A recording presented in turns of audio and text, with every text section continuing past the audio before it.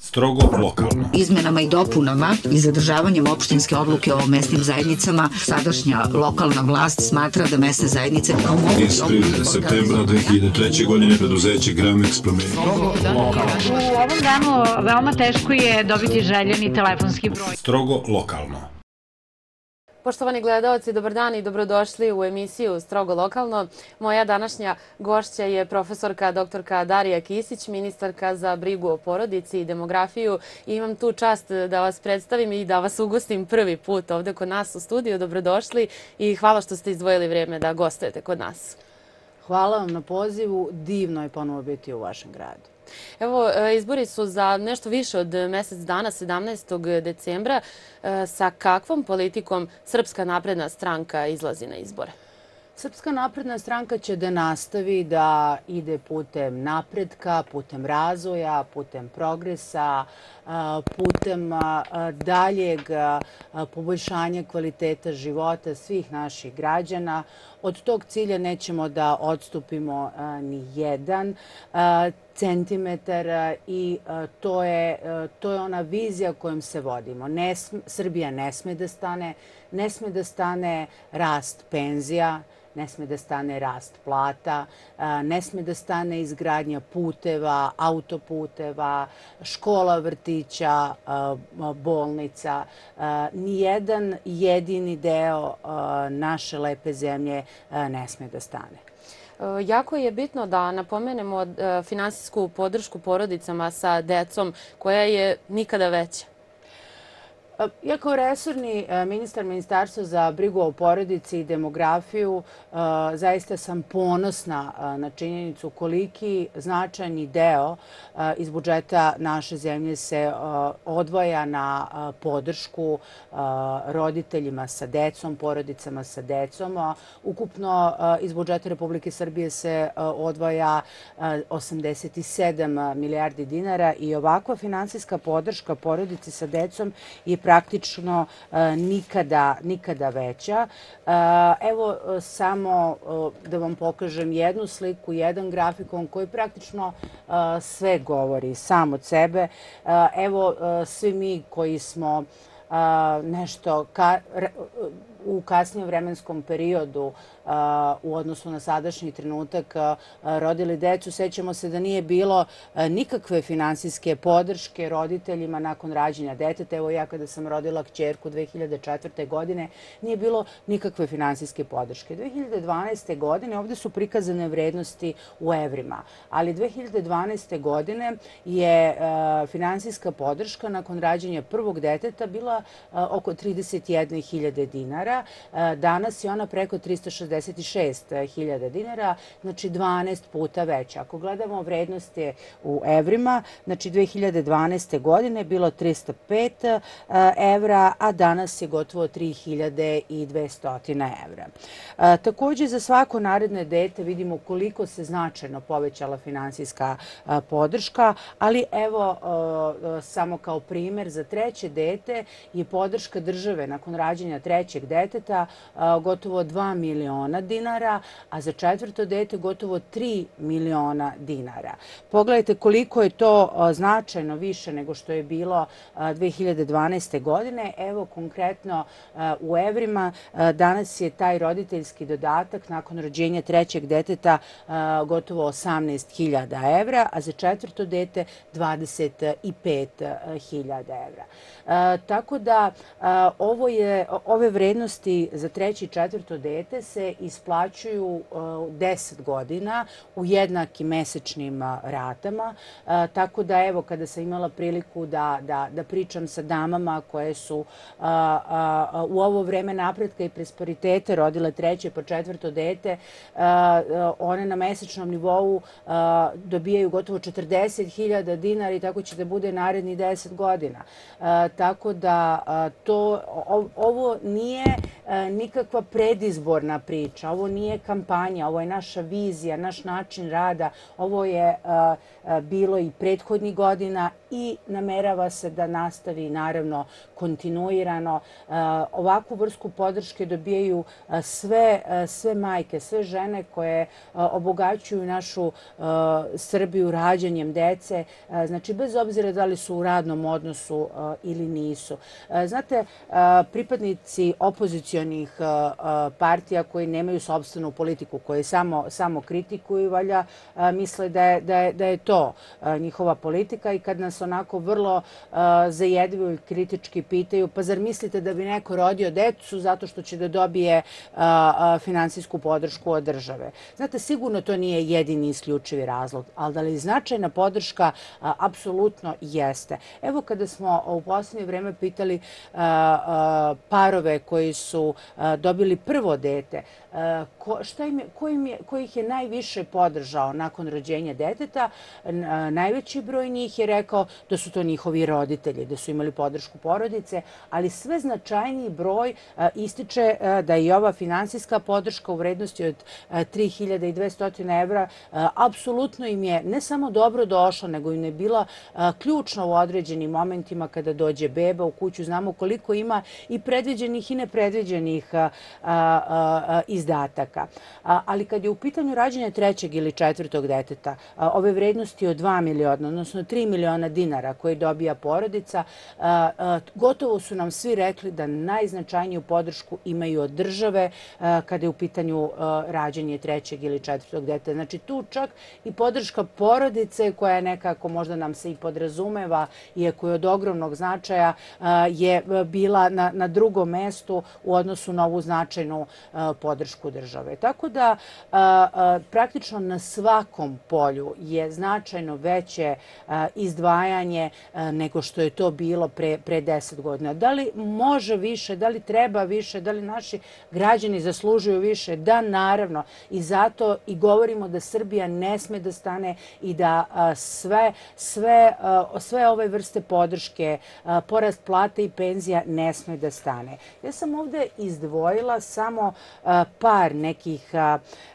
slika, grafikona koji su ilustrativni, Znate, nekako uvek nam je sećanje, nekako uvek imamo da imamo e, kratku memoriju, kratko sećanje e, i mnoge stvari e, koje idu na bolje jako brzo počinju da nam se podrazumevaju. To je dobro. To je dobro u smislu da, da ako se to građanima podrazumeva da imamo kontinuirani rast plata, penzija, izgradnje čitave, čitave zemlje, to onda znači da se osjećaju sigurno i stabilno u svojoj zemlji. Ali ipak nije na odmet da se podsjetimo kako je to bilo e, ne u takvoj dalekoj prošlosti. Pogledajte kada su je u pitanju izgradnja zdravstvenih ustanova.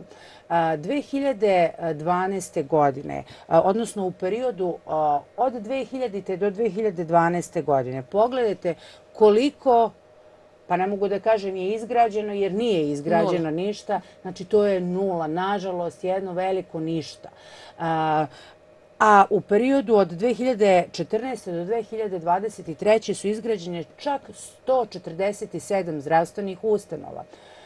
Znate, mi smo nažalost, bili savremenici je početka jedne velike pandemije. Čak i mi koji smo školovani za to nismo mogli da verujemo da ćemo doživeti da se tako jedna strašna pandemija desi u 21. veku. I zdravstveni sistemi širom sveta su bili na ispitu. Mnogi su pali taj ispit, ali naš zdravstveni sistem se pokazao prvo kao otporan, fleksibilan, a onda je i ojačao nikada jače u ovim najtežim uslovima.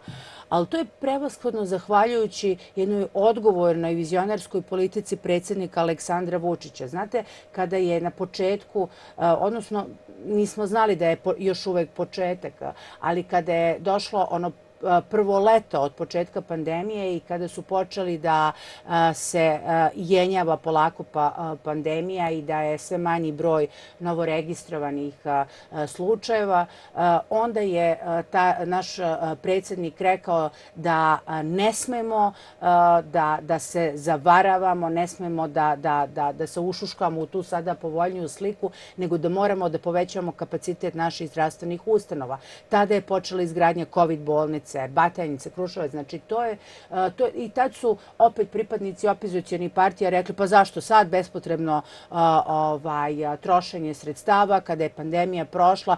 Na, nažalost, nije prošla i to, to je spasilo živote e, hiljadama i desetine hiljada naš, naših sugrađana. I znate kako se kaže, Eh, zdrav čovjek ima hiljadu želja, bolestan samo jednu, da ozdravi. Tako da ulaganje u zdravstveni sistem je, i u zdravstvo je od ogromnog značaja za svakog od nas, pogotovo ulaganje u preventivu, u preventivne preglede.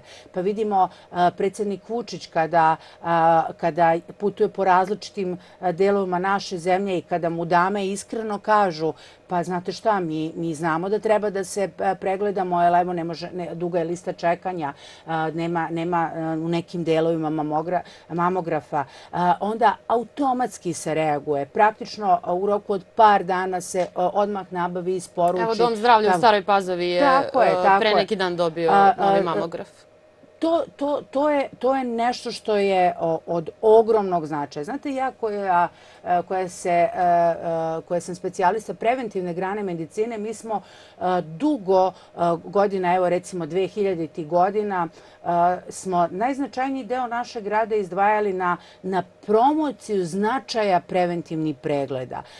Jer, znate, dugo vremena u našem narodu onako bilo mada i sada ne bi to ovaj, ni podaštavala mišljenje da kaže šta da idem na preglede pa da mi nešto otkriju, neću. A to je suština je da odemo kod lekara i na preventivni pregled kad imamo nikakav simptom i znak bolesti. Pa ako se desi da se nešto otkrije, to je rana faza, rani početak i onda se odmah terapijom, ranom terapijom, praktično u najvećem broju slučajeva dovodi do, do kompletnog izlečenja. E, I e, zato je ovakvo ulaganje u zdravstveni sistem i zato nam je to od ogromnog značaja. Evo, vi ste na čelu Ministarstva e, za brigu o porodici i demografiju godinu dana. Sada ste već nešto nabrojali. Na koje još rezultate ste ponosni za ovih godinu dana? A, naravno da ću vam sa velikim ponosom da istaknem te neke rezultate, ali samo bi dovršila kada je u pitanju ulaganje u zdravstveni sistem i da samo ukratko pokažem kako je rastao kako su rasle plate lekara specijalista. Pogledajte, 2012. godine prosječna plata je bila 596 evra, a 2024. planiramo da ono bude 1259. To je povećanje od 111 puta. Da li je to dovoljno, da li ti ljudi zaslužuju i vrede više? Da, naravno, i zato ćemo i da nastavimo sa rastom ovih plata, jer rast plata ne sme da stane. Kada su u pitanju medicinske sestre, također, pogledajte kako su rasle plate medicinskih sestara, tu je rast plata bio još izraziti, još veći. E, medicinske sestre čini mi se da su dosta dugo onako bile e, podcenjivanje, ni podaštavane u tom zdravstvenom sistemu, a one imaju ključnu ulogu kada je u pitanju nega, ordiniranje terapije. E, I pogledajte, 2012. godine prosječna plata medicinske sestre je bila eh, 286 evra. Znamo da u tom periodu je značajan broj eh, naših vrednih stručnih medicinskih sestara posao potražio eh, van granica naše zemlje, nažalost. Mi smo i dalje ćemo činiti sve da ostanu u svojoj Srbiji, da tu formiraju svoju porodicu i pogledajte, rast plata medicinskih sestara je još izrazitiji nego rast specijalista lekara i porastao je za 138%. Da li treba više? Naravno da treba, zato ni ovaj rast plata ne sme da stane. Još jedan jako ilustrativan grafikon koji je jedan pokazatelj socioekonomskog stanja u zemlji, a odnosi se na kretanje stope nezaposlenosti. Pogledajte 2012. godine. Stope nezaposlenosti je bila 25,9%. Šta to znači? Da više nego svaki četvrti radno sposoban čovek u našoj zemlji nije radio. Ne zato što nije hteo, nego nije imao posao, nije imao gde da radi, nije bilo radnih mesta. Znamo od tada, od 2012. godine do danas, kako smo jednom odgovornom politikom uspeli da privučemo i strane investicije, a i da podržimo i domaće investitore e, da pokrenu proizvodnju, tako da je otvoreno desetine i stotine hiljada radnih mesta, tako da je danas stopa nezaposlenosti e, jednocifrena. Evo u drugom kvartalu ove godine je bila 9,6.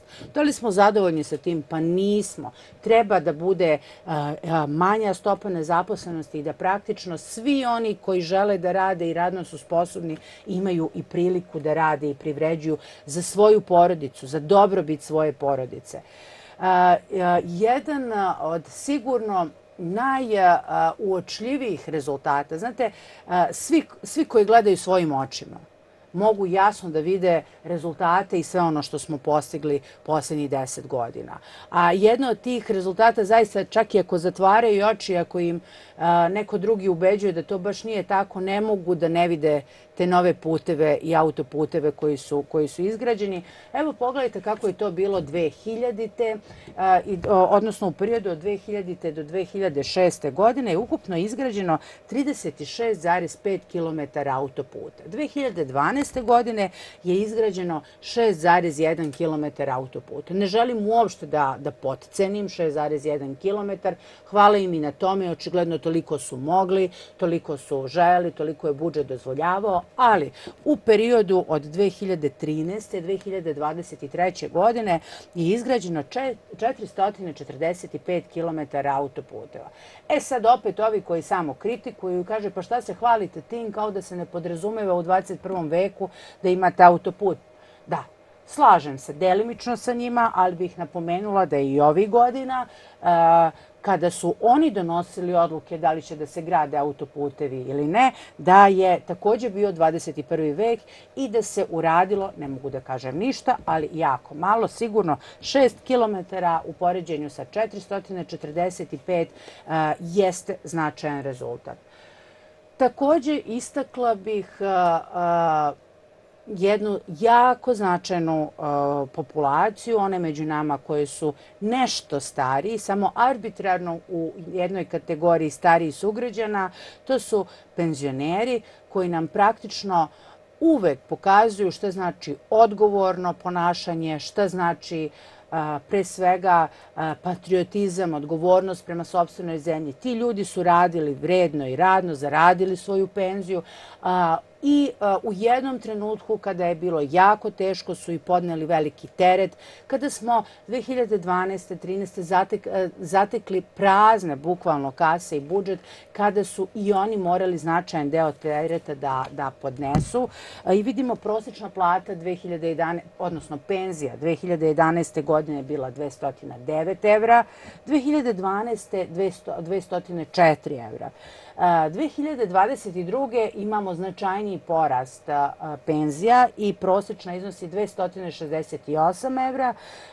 Ove godine je e, 326, a prema projekcijama, predviđanjima i ono koliko naš budžet to omogućava, jeste da će 2024. godine prosječna penzija biti skoro 400 evra, znači 390 evra. Da li ovi divni ljudi zaslužuju zaradu više, e, da naravno zato ni rast penzija ne sme da stane. E, A, također, rast plata, spomenuli smo već e, u zdravstvenom sektoru, ni ovaj rast, ni rast plata ne sme da stane. Pogledajte kako su to zaista fascinantni rezultati. 2009. godine prosječan neto prihod je bio 338 evra, 2010. 331, u julu ove godine, pogledajte, više nego dvostruko e, veće e, plata, e, 715 evra i prema predviđanjima i projekcijama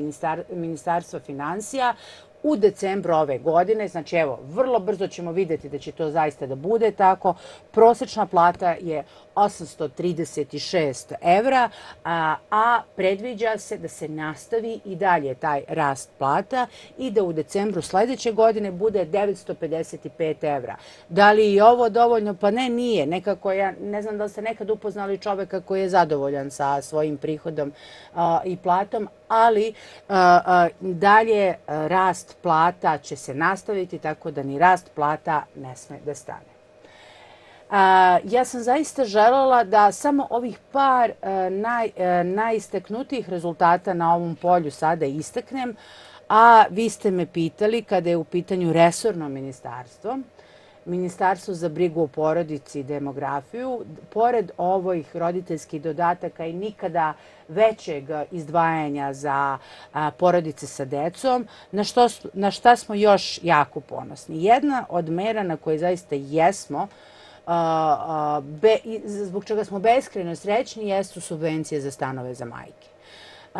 Direktno je ova mera nastala kao, kao na predlog predsjednika Aleksandra Vučića, koji je još u periodu od 2012. godine e, stalno isticao koliko je demografsko pitanje značajno i koliko je to e, pitanje nad svim pitanjima u našoj zemlji, jer za koga sve ovo radimo i gradimo ako ne zbog naše dece, ako to nema ko da nasledi i kome da ostavimo našu, našu lepu zemlju. E, međutim, kada smo uradili analizu vlasnika nekretnina u našoj zemlji po polu, što mislite u kom procentu su to žene?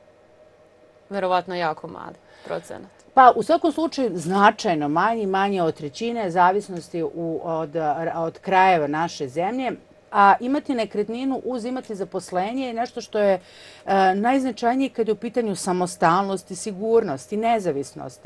Jedno smo željeli da postaknemo majke e, da, da, da kupe stanove tako što će država im dati bespovratno e, svotu novca u vrednosti od 20% od procenjene vrednosti nekretnine.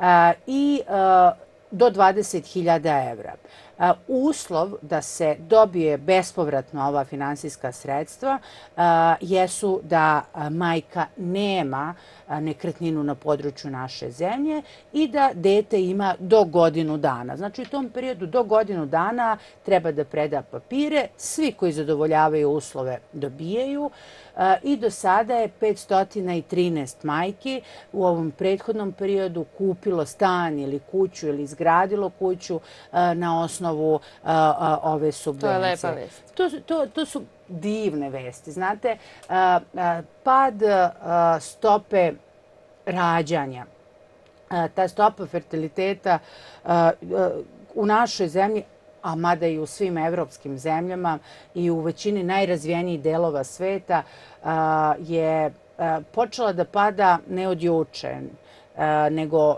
ima par desetina godina. Znači, tako da znamo i svesni smo činjenice da s obzirom da i e, takva demografska slika nije nastala od juče, da e, neće tako brzo ni ne može tako brzo ni da se podigne, ali su zaista e, povoljni pokazatelji u poslednje vreme i to nam je jedan znak da ono što radimo, da, da je dobro prihvaćeno i da smo na dobrom putu. Pazite, znači mi decenjima unazad beležimo negativan prirodni priraštaj. Šta to znači? Znači da nas više umire svake godine nego što, nego što se rodi. Tako je. A, za, za prostu obnovu stanovnika, da, da bi se zadržao broj stanovnika koji imamo danas, potrebno je e, da jedan bračni par ima najmanje dvoje dece. To je znači prosta zamena, je li tako? I to znači da je ta stopa fertiliteta 2, odnosno 2,1. Ta vrednost je manja od 2 je kod nas decenijama unazad. I evo, 2012. godine je bilo 1,3 i 1,4. I kada smo dosegli vrednost od pre tri godine 1,5, to smo već videli da smo na dobrom putu, a sada je 1,63. Vide ljudi podršku države, osjećaju se sigurno, osjećaju se stabilno, ostaju u svojoj zemlji i ovde formiraju svoje porodice. Vide da je financijska podrška nikada veća. Vide da majke mogu da kupe nakon rođenja deteta stan. Pričajući sa tim divnim mladim ljudima koji su u poslednje vreme stvarali kao roditelji, zaista nam kažu da je to bilo jedno od ključnih odluka zašto su se odlučili da sada stvaraju svoje porodice. Tako da je to nešto što je stvarno od ogromnog značaja. E, mi smo takođe želeli e, u ministarstvu e, da budemo partneri i svim lokalnim samoupravama, da svi zajedno radimo kada je u pitanju pronatalitetna politika. Znate, budžet koliki god da je, uvek vam je malo. Onda smo želi da je udružimo i naše, ne samo novac, nego i naše snagi da zajedno radimo i upravo smo gotovo polovinu našeg budžeta, 400 miliona dinara izdvojili za lokalne samouprave i tu količinu novca smo raspodelili na 52 lokalne samouprave za različite projekte pronatalitetne politike. Ja sad da ljudi ne misle projekte da je to nešto papiru, da su to neke studije. To je nešto što je konkretno, što se vidi, što i tekako roditelji cene, pogotovo žene. Mi nekako žene vidimo konkretne proizvode naše grade, konkretne rezultate. Ovi projekti, evo sada praktično obilazimo čitavu našu Srbiju i zajedno e, predstavljamo i otvaramo sve što smo zajedno uradili. Odnosi se na izgradnju dečih igrališta, na izgradnju sportskih terena blizu škole, na e, izgradnju vrtića, na povećanje kapaciteta smeštaja u prečkolskim ustavima, renoviranje, opremanje vrtića, e, zatim nabavka učbenika za decu, prevoz za decu u nekim semi-urbanim ili ruralnim eh, sredinama. Eh, tako da to je eh, opremanje ordinacija ginekoloških odeljenja kada je u pitanju očuvanje reproduktivnog zdravlja. Zatim škole roditeljstva. Onda je recimo jedan jako značajan projekat je bio koji je se odnosio na organizovanje kampova gde su išli isključivo očevi sa decom. Zanimljivo. Znači, tako da mi smo i posjetili recimo na Divčibarama da ih je bilo ovaj, nekoliko toko tokom ove godine. Znači, to su kampovi koji traju par dana, gde su isključivo... Imali smo očevi sa kćerkama, imali smo očevi sa... I kako su se snalazili bez majke? Bilo je i kombinovano. Pa to zaista je različito. Kada smo posjetili ih, pa to su šatori koji su u divnoj lepoti prirode naše Srbije. I sada kada sam ja recimo pitala jedno dete, pošto odmah sam uočila da tu kada padne mrak, da nema nikakvog osvetljenja, nic se vidi negde u deljini i onda naravno da su oni imali ovaj, lampe, ali kada vidite da dete, deca koja ostave mobilne telefone istog momenta zato što ih privlači čitav niz drugih stvari i aktivnosti u prirodi, to, to je vrlo organizovano. Od učenja planinarenja do kuvanja zajedno sa očevima da i kada sam videla sa kojim entuzijazmom meni deca pričaju da neće više da jedu slatkiše, da su na, na, na vatri pekli jabuke i da je to jako ukusno i kada sam ja pitala pa kako noću, ovaj, kad nema svetla, onda one meni objašnjavaju kako zvezde jako sijaju noću. A tako da ovo, ovo je zaista jedna prelepa priča, sigurno ćemo nastaviti da, da je podržavamo, ali to generalno podržavanje roditeljstva. Pa i u tim kampovima znači imamo i, i radionice za roditelje kada su deca na svojim zadacima i obavljaju imaju radionice za roditelje. E, mi sa pravom uvek ističemo majku i želimo majku da ohrabrimo e, e, u, u, različitim aktivnostima jer znamo da je žena stup porodice, ali sigurno da, da se ne lažimo da, da, da i naši muškarci, da očevi imaju čitav niz nedoumica, strahova kada, kada počinju da se ostvaruju kao roditelji. Tako da, evo, to, to su neki od projekata i stvarno, a mnoge lokalne samouprave, među kojima je i vaša, pored ove nikad veće financijske podrške porodici sa decom a, a, izdvajaju i značajan deo svog budžeta još dodatno da, da, da podrže porodice. Tako da a, praktično pokazujemo se i, i, i želimo da pokažemo, kažemo i da ljudi konkretno i vide da nam je svaki građanin bitan i da želimo da se osjećaju sigurno i bezbedno u svojoj zemlji, ali da su nam najbitnija deca. Zašto zašto deca Pa zato što je e, na njima naša budućnost i želimo da im ostavimo lepu, naprednju, jaču i bogatiju Srbiju. I upravo sve ove mere koje ste sada nabrojali e, idu u korist deci. Pa jeste, e, da, zaista sve što radimo i sve što gradimo, radimo zbog dece.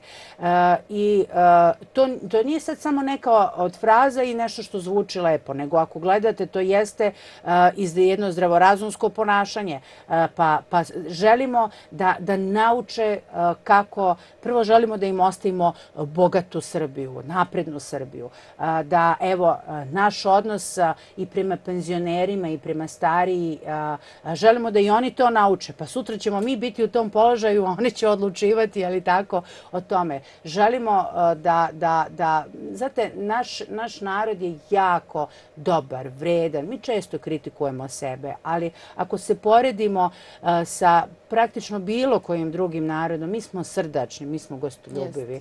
Uh, nama je u I to stranci uglavnom kažu za nas. Prvo što kažu da smo srdačni. I svi kažu onako, mi, mi svakog želimo da zagrlimo, da poljubimo tri puta. I sad malo taj, taj svet, taj što, što, što mnogi govore razvijeni svet, uh, možda razvijeni po visini plata, ali nekako se onako uplošeni od takvog konteksta što se vidi koliko su se odrodili, koliko su i stranci u svojoj porodici. Ne, ne želimo uopšte da idemo tim putem, jer upravo ovakva ljudskost koju mi imamo, ovakvo gostoprimstvo, to jeste u dubini našeg, našeg bića i to želimo i da prenesemo na našu decu.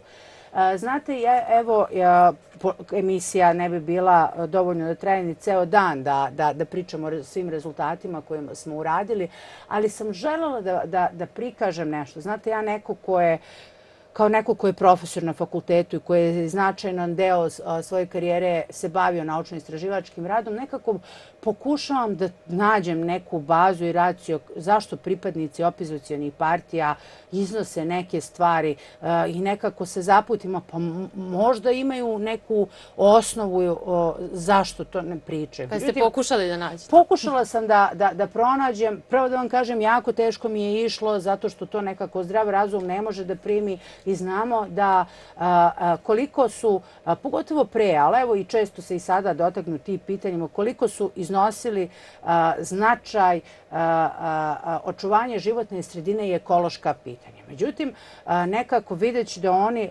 uopšte nisu ne dupinski ulazili u tu tematiku, nego ni površinski. Očigledno su videli da je to moderno i da u svetu su takvi i slični pokreti.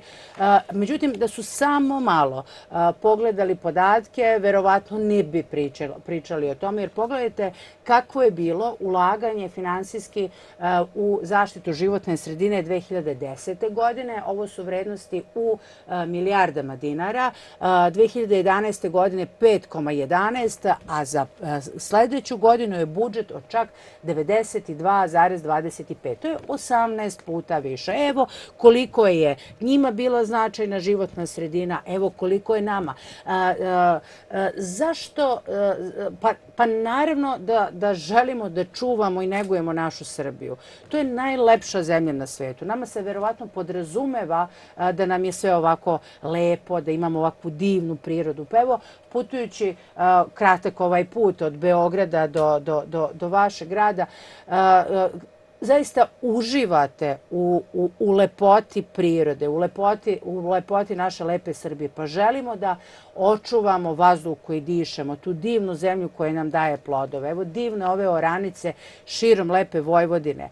Pa ulaganje u poljoprivredu je nikada, nikada veće. Evo pogledajte samo na ovome slajdu koliko je bilo 2010. pa 2011. Vidite kako ovaj stubić je 2012. koliki je bio i i onda uvećanje u, o, za ovu godinu tri puta u odnosu na 2012. godinu. Znači, e, poljoprivreda je izuzetno ogroman potencijal u našoj zemlji. Blagosloveni smo što živimo baš e, u, ovo, na, u ovom parčetu zemaljske kugle koji je ovako lep, koji je ovako plodan. E, tako da, osim poljoprivrede, praktično naša zemlja ima neiscrpne mogućnosti razvoja, napretka, razvitka u, većini, u svim sektorima.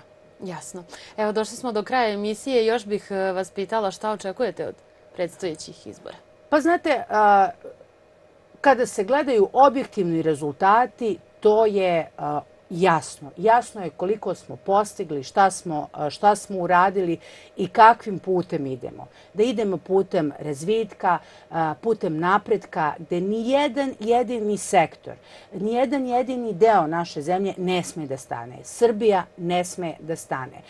I onda sam sigurna da građani Srbije kada 17. decembra izađu na biračko mesto, da im neće biti teška odluka, i da će se opredeliti za Srbiju koja ide putem napredka, Srbiju gdje će se nastaviti rast plata, rast penzija, izgradnja predškolskih ustanova, škola, zdravstvenih ustanova, da, da svim svojim srcem žele da se Srbija dalje razvija, da Srbija dalje se ubrzano kreće i da će njihov izbor biti Srpska napredna stranka, zato što je to najbolje za njih, za njihovu porodicu, za njihovu decu, za njihove unuke i to je najbolje za Srbiju. Hvala vam puno na razgovoru i na izdvojenom vremenu i dođite nam opet. Hvala vama mnogo. Poštovani gledalci, pratili ste emisiju Strogo lokalno. Strogo lokalno. Izmenama i dopunama i zadržavanjem opštinske odluke o mesnim zajednicama, sadašnja lokalna vlast smatra da mesne zajednice kao mogu... Iz prilike septembra 2003. godine preduzeće Gramex promenio. U ovom danu veoma teško je dobiti željeni telefonski broj.